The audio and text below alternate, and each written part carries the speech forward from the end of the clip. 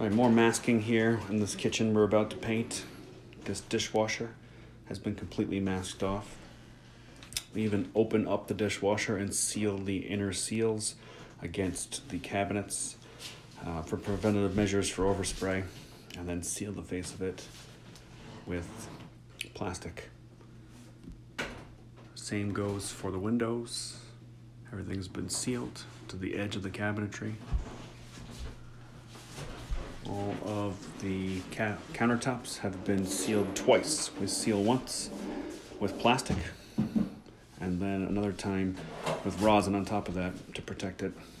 The plastic is just in case we spill any um, any chemicals when we're degreasing the kitchen cabinets, so that it doesn't bleed through the rosin paper and potentially affect the countertops.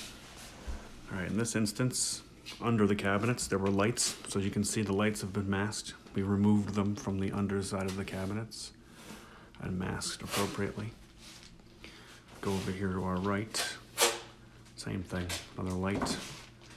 Three lights actually that have been removed and masked so we can get the underside of the cabinets painted.